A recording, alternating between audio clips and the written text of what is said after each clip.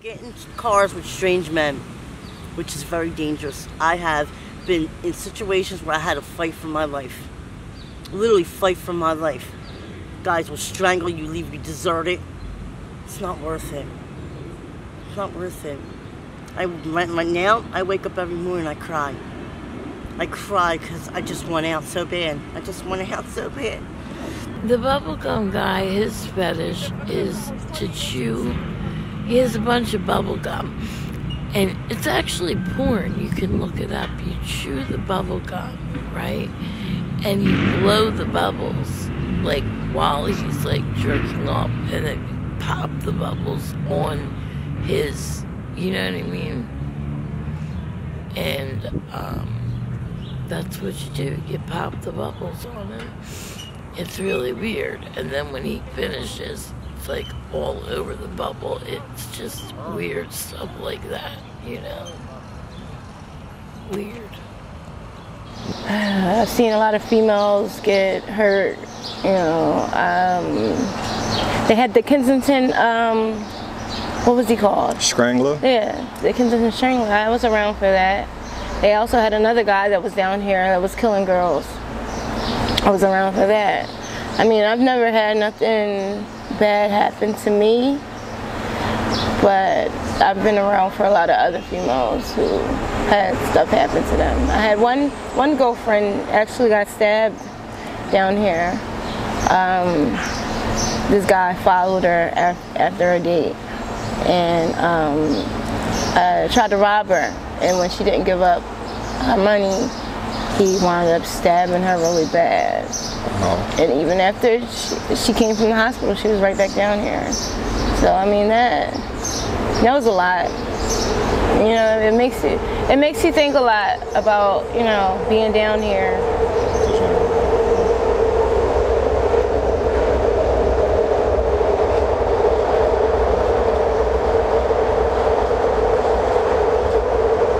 You know, the things females have to go through. You know, um, is is just a lot, and a lot of people don't really think about the things that we that we're doing. You know, and the drugs is just one way to just you know keep us from having to think about it all. I do like dates and stuff like Mhm. that. I find guys that help me and I help them, Yeah. which I don't want to say I like doing, but everyone has their own little hustle, you know. Some people sell drugs, some people boost. Mm-hmm. That's them for them to make their little few dollars, but I'm not built to sell drugs and I'm not bold enough to boost, so I gotta Yeah. do something else.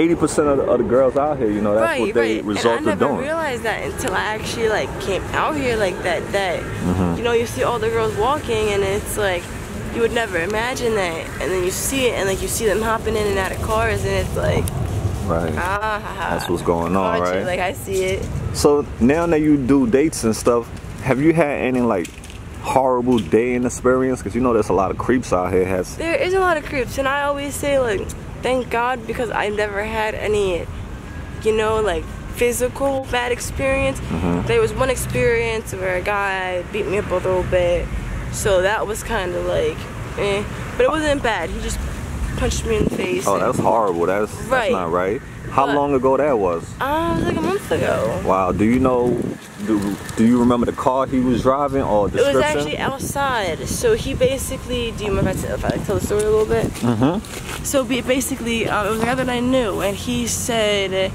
he changed the story up when people asked him what happened. But he basically said, you know, I have ten dollars.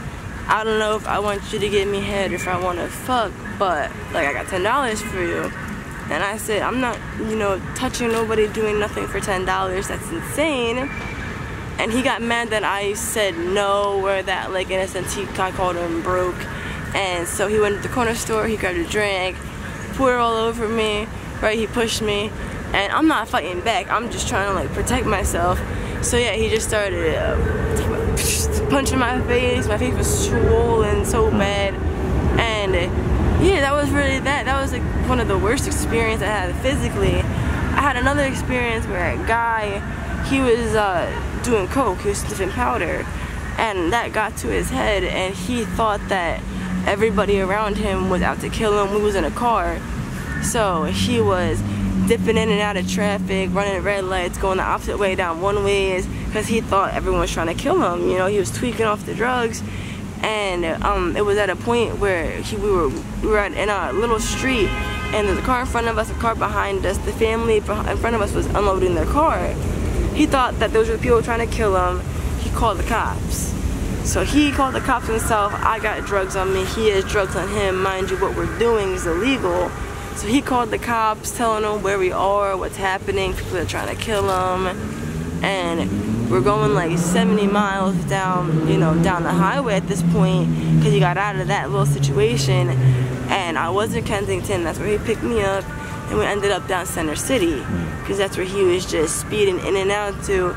And I kept telling him, like, let me out the car, let me out the car. I don't want to be here. I don't want to do this. And he wouldn't let me out. So when it came, we were at a red light, and I just jumped out. I jumped out the car, and I just. I'm not a fast runner, but you know, I was running fast, fast as I could. What was your worst dating experience? Wow. Um, the worst one? I don't know how. I, I've been blessed, you know, um, to meet good people because I, I believe I'm a good person.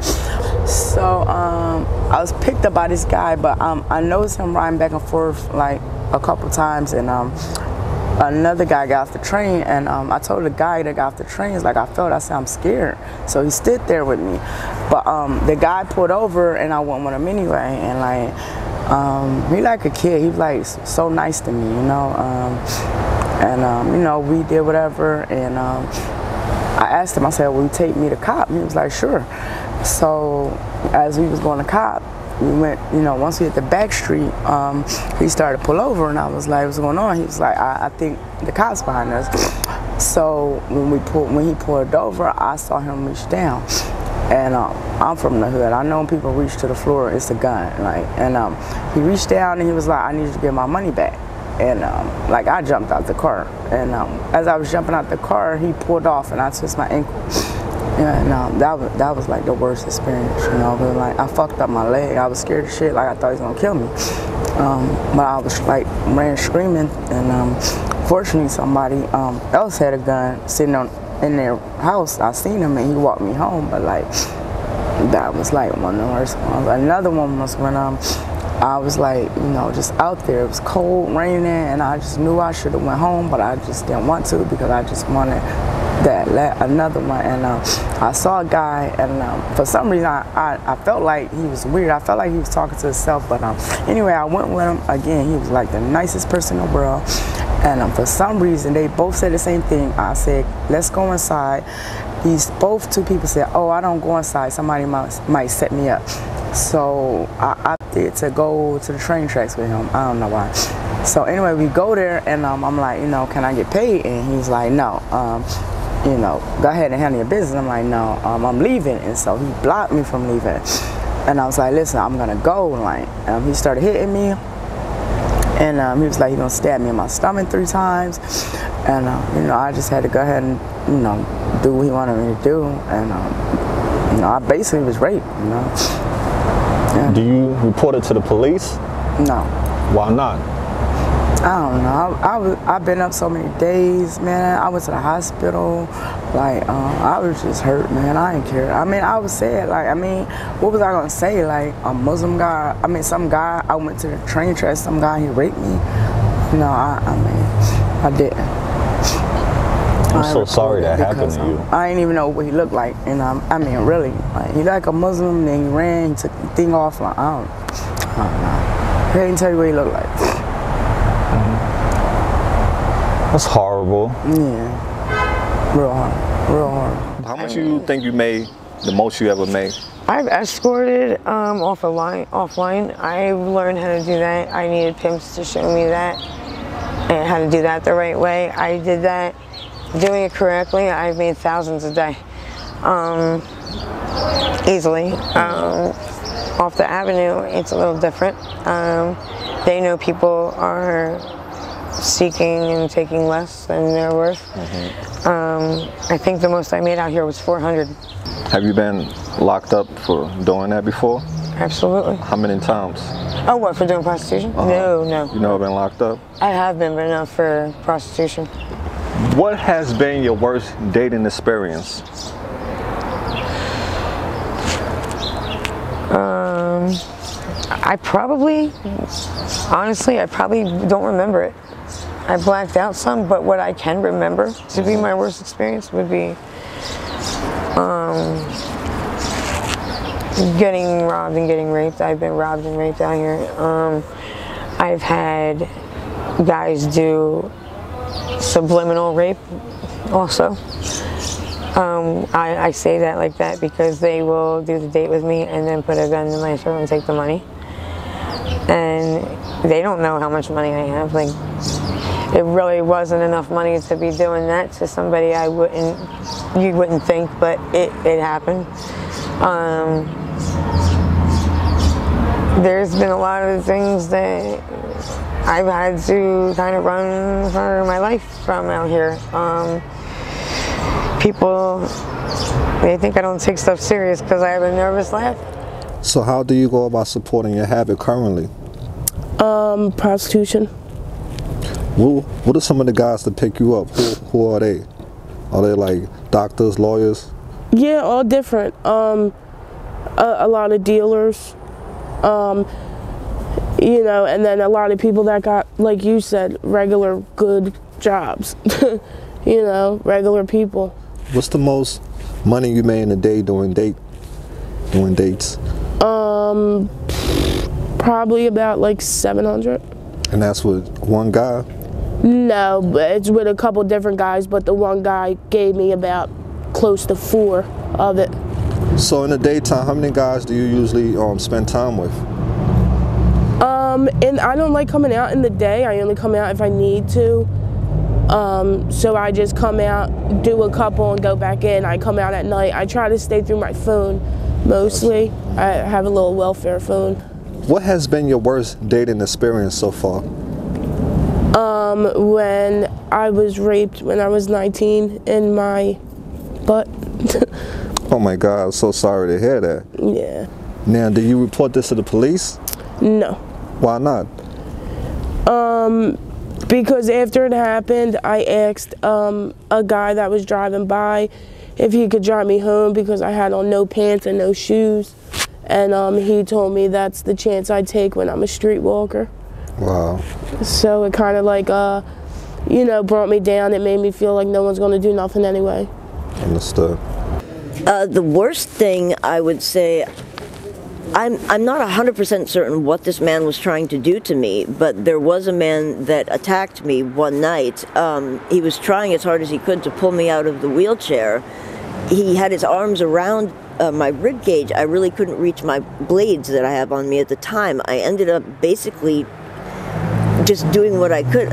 I guess my arms had built up a lot of strength in the wheelchair. I just wrapped my arms around him and squeezed as hard as I could until eventually he actually passed out. Wow. My adrenaline was probably pumping that allowed me some extra strength to do that, but that's all I could think of to do. And luckily, it worked, but that was very scary. I can't imagine, you know, that's horrible being in a wheelchair, not able to like barely. I can't run, yes. I cannot Right. run. I have only two options in that situation, which is submit or fight. And of course, I'm not going to submit, so I have to fight. Well, glory to God, you fought that battle and you came out of, you know, a victorious champion. Oh yes, I would never ever submit to anything like that. That's that's wonderful to hear. Like, how complicated is the process for you to get? Oh, it's drugs? horrible sometimes. Sometimes it's real easy, but sometimes it's really hard. Um, there's well, prostitution is is the the main thing for us girls, and some of the guys too, because there's guys out here working the streets as well. Um, but some days, be lucky if you get five dollars in a day, and there's days that I make hundreds of dollars. Um, boosting, going out there, boosting, selling drugs. Um, you know, sometimes you gotta do something strange for some change. No, that's right. So, so now with the whole prostitution thing, how does that impact how others see you? Well, I mean, some people, well, a lot of people, they knock the hustle. But then there's some people that don't knock the hustle. You know, I mean, you do what you have to do in order to survive. And sometimes it's, it's a very dangerous game because you're dealing with rapists out here, men that don't care about the next life and have been hurt by mothers who used to be prostitutes um, and are very angry towards prostitution. So it's a dangerous game, very dangerous. How was your first date like? The first time you did a date, how was it like?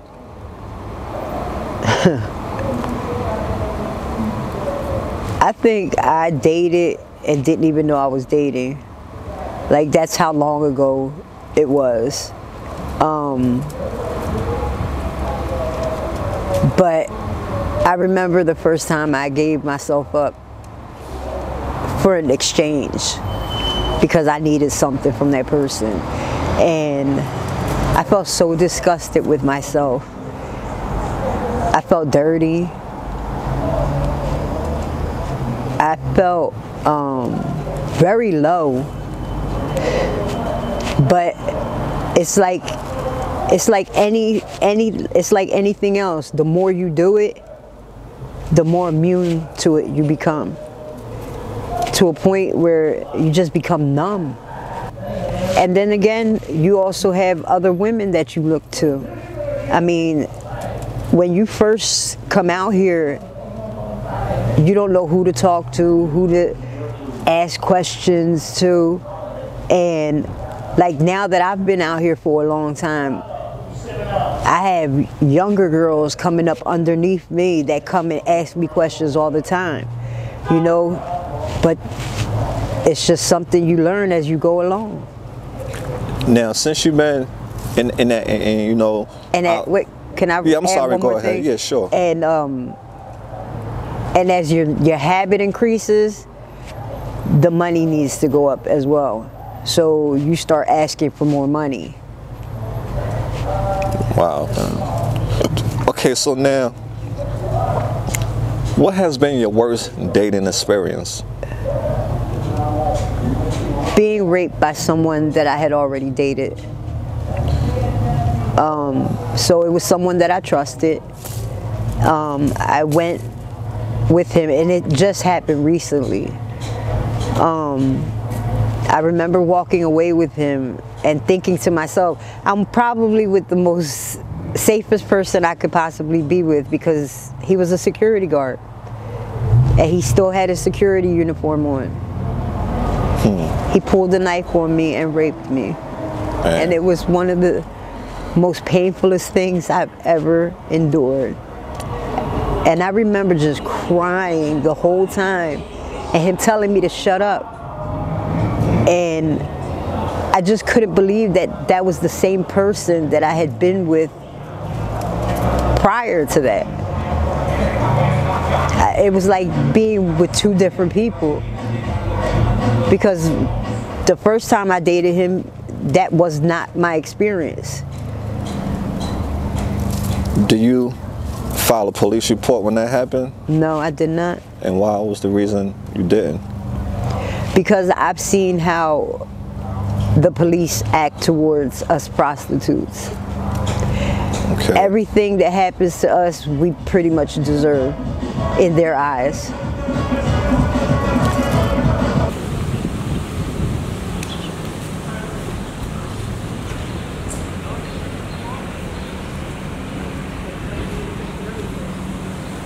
Now, with prostitution, d- due to the fact that it's such a high risk, you know, activity, do you protect? Do you protect yourself from STDs? Yes, I do. I do use condoms.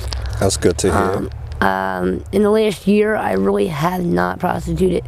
I mean, like, I'll try anything else. I try to borrow money from a friend, or I'll have a sugar daddy. I had one for four years. He died of COVID actually last year. Um, that's like my last. That's last on the list if I have to do it. Got you. You know, or I'll rob them. So, who are some of your your clients? Who are some of the guys that pick you up? There's well, actually, you really can't keep names because there's We don't have to so many different men, but I mean, they're just typical men that are walking around from here that are getting high also that just want a buddy to get high with, or there's someone that just wants to give you a few dollars to have your company, which really isn't much money anyway. It's not really worth it. It's Right. actually degrading. Um, So, what's the worst thing? What has been your worst dating experience? Was that the one when you got pistol whipped? Your worst dating experience? That one, and um, I remember about what was it, about 12 months ago, I was walking up by uh, Kip and Cambria, and somebody asked me to do a date. I told him yeah, and we went into the alleyway, and he beat me up and took all my money and ran and left me laying there naked. Jesus Christ. It's like I don't understand why I come back out here. It's like all these bad things that keep happening to me, and like I still just think one more time, one more time, one more time, it's gonna be over, and I just keep doing it. And I have these four beautiful children. Yes. One's 17, one's 15, one's 11, one's five. Three of them I haven't even seen in four years. They don't even know me probably anymore. The dates. Is that how you make your money out here? Yeah. Now, when you approach a car, how do you know they're not the police? I don't. I really don't. Have you been arrested before? Not for prostitution. What, what was you arrested for? A possession. So, what are some things that these guys ask of you when you approach the car? What do they want? I, well, I know what they want, but what do they say to you? They asked how much. Mm-hmm. Then, but then some of the things they want you to do, it's like, I don't know. It's kind of some- degrading. Right. So, what are some requests that you will not participate in? I will not participate in anal. I will not participate in, you know, playing with their anus or nothing like that. Right. Absolutely, I understand that's it's not easy. You know, when you or a woman have to deal with a bunch of strangers on a daily basis. So, due to the fact, you know, you got that that prostitution or you know reputation as far as being out here, you doing dates and stuff. How does that impact how others see you? I don't know that it does. I don't. I don't. I don't. I really, if they judge me, then they need to look in a mirror sometimes. And do you think that find do you think that it's harder to find a partner due to the fact you have prostituted? No. I mean, maybe. Has men has men used you in a relationship to make money for drugs? No. But they, but the last guy I was with for the past seven years, I have a friend who comes down and helps me, and he, he, uh, you know, I don't think he cared. Okay. Now, I heard a lot of stories out here about bad date experience. Have you had any good dating experience out here? Yeah. Can you name just one? Tell us about it. The good one was the last guy. He had he had just picked me up Friday, and uh, took me back to his house, and I was there all weekend. Was able to shower, you know, stay warm. Yeah. So then then it was like you know. Last night it was like I had to go. I just had to go. I think I was driving the guy nuts. Mm. So, what has been your worst dating experience so far? It was a, it, that was around 20 years ago. The guy picked me up and he took me down to I don't even know where to this apartment complex in the parking lot. And he put my car door up to the other car so I couldn't open it. He just told me to get in the back seat and I thought that guy was gonna kill me. So I got in the back seat. Then he um, got out, went in the truck, got a condom, came back in, put it on. He said, pull your pants down. I said, no. He, said, he pulled my pants down. He raped me. He sodomized me. When he was done, he dropped me off.